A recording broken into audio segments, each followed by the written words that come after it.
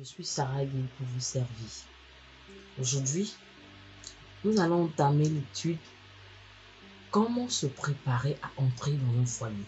Donc, nous allons donner les différents points pour vous aider pour avoir une famille réussie, un foyer réussi. Nous partons sur le premier point. Se préparer mentalement, physiquement, spirituellement et en fait financièrement. Comment se préparer mentalement? Tu devoir te marier avec quelqu'un que tu vas commencer à connaître. Vous êtes ni de même père ni de même mère. Même les personnes qui sont de même père, même mère, il y a des problèmes qui surviennent. À plus forte raison, quelqu'un que vous n'êtes même pas de même famille. Donc, il faudrait te préparer mentalement parce que tu ne sais pas qu'est-ce que tu vas trouver dans le foyer. Quel est le problème qui va se poser dans le foyer? Donc, tu dois te préparer parce que lorsque les problèmes vont venir, ou bien lorsque la joie va venir, tu sauras faire face à ça. Tu sauras supporter les problèmes. Tu sauras trouver des solutions avec l'aide de Dieu, bien évidemment, pour pouvoir gravir des échelons dans ton foyer.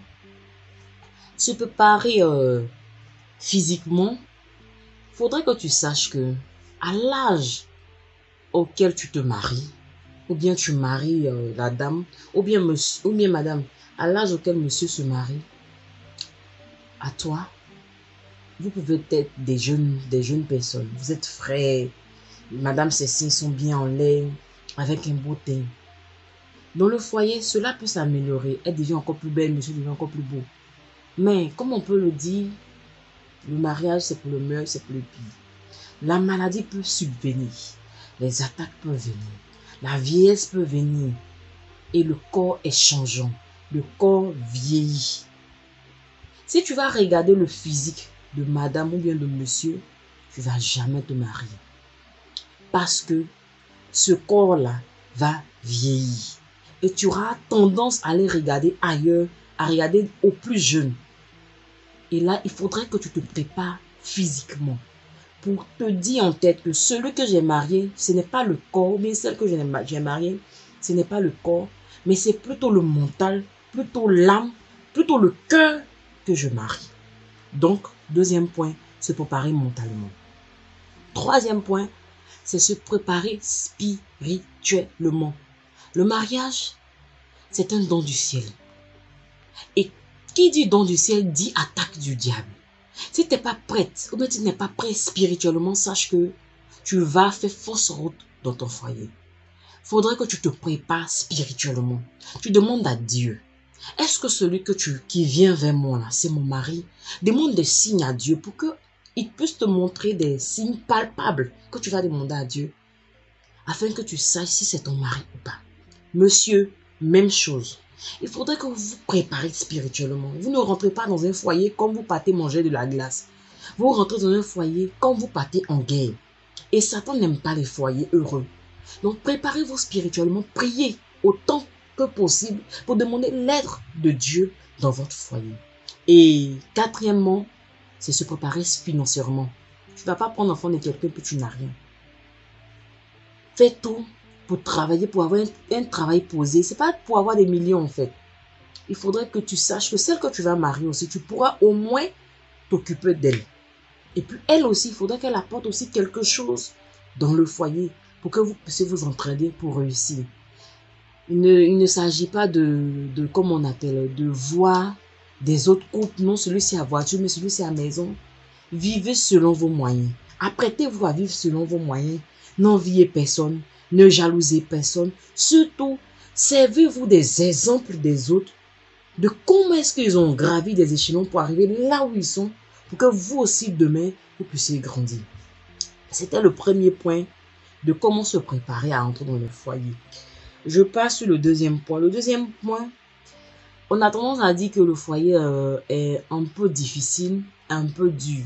Ça dépend de comment tu gères ton foyer. Ça dépend de comment tu rentres dans le foyer. Je vous donne un topo.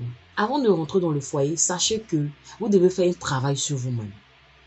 Madame, ou bien monsieur, ou bien jeune fille, tu dois faire un travail sur toi-même. Le travail, c'est quoi? Il faut tout d'abord répertorier tes qualités et puis tes défauts. Tes qualités, c'est, il faut toujours voir les qualités que tu as. Prendre une feuille, écris toutes tes qualités là-dessus. Et puis demande à Dieu, avec ta propre volonté, de les bonifier en fait. Là, lorsque tu vas rentrer dans le foyer, tu seras meilleur. Et la seconde chose, c'est de répertorier tous tes défauts. Voilà. Et fais en telle enseigne que tu puisses travailler sur ces défauts-là pour ne pas rentrer dans le foyer avec. Monsieur, toi également. Maintenant, si tu comptes entrer avec tes défauts dans le foyer, pense, tu ne penses pas que cela va vous arranger.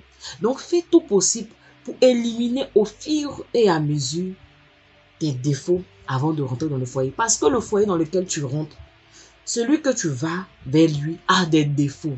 Tu vas pas prendre pour toi et puis pour lui pour venir compléter. Non, ça jamais. Donc, répertorie tes défauts, fais un travail sur toi-même, demande l'aide de Dieu et puis applique-toi à devenir une bonne personne.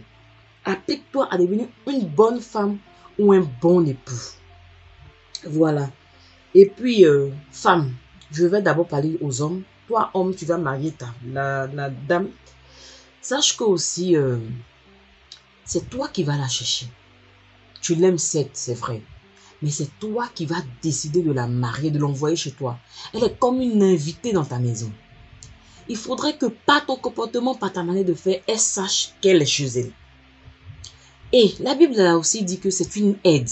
La Bible n'a pas dit que c'est elle qui va venir se taper tout le boulot. Donc, il faudrait que, en tant qu'aide, tu puisses la considérer telle.